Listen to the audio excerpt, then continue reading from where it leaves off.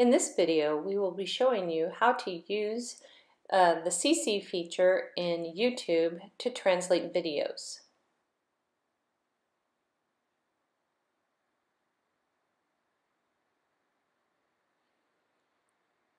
In this video, you can see that there's no sub subtitles right now, but if I go to the CC icon and click it, you'll notice that now we've got closed captioning coming through for the subtitles. To change the language, I just click on the gear icon and go to Settings. I go up to Subtitles. Right now it's in English, so I want to go change the language. I'm going to select Auto Translate if that's not there, you can click Options. I'm going to scroll down and I will select the language that I need my subtitles in. So I'm going to select Spanish and now you can see that it has Spanish subtitles.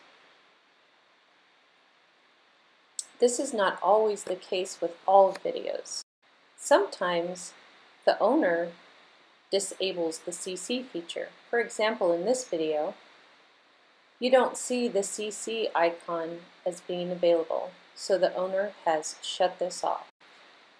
The neat thing about this video is that it actually is all words on the screen, so we'll show you how to translate that one in another video.